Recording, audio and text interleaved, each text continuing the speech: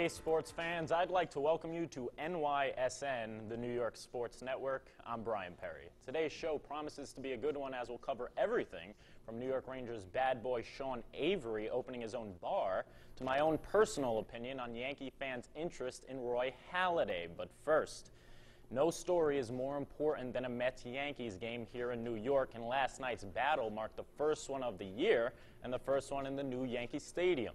Both teams stumbled into each other, struggling with the Mets dropping two of three to the world champion Phillies, while the Yankees were once again swept by the boys from Beantown. There was no question that these teams were ready for some new opponents. So let's go straight to the highlights. Beautiful look at Yankee Stadium filled to capacity.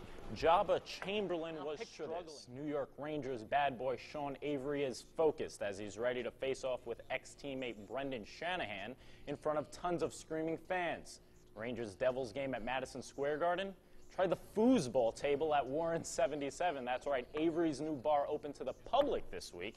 And he says when he's not dropping the gloves with an opponent on the ice this winter, he plans on showing up at the bar as much as possible. For more, log on to warren77nyc.com.